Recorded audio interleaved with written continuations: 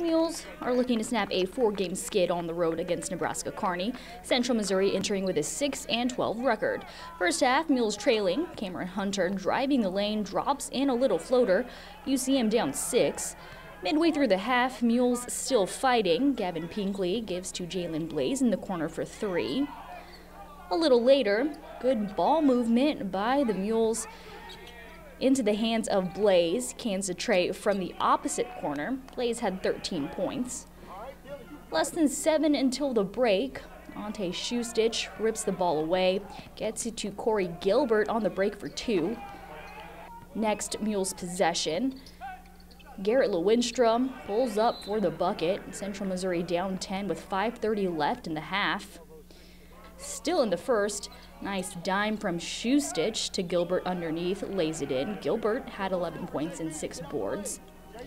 Later, Hunter, three from up top. He had a team high 14 points. Mules trail by 13 at the break. Central Missouri unable to close the gap in the second, falling 74 to 51. Mules dropped to 6 and 13 on the year.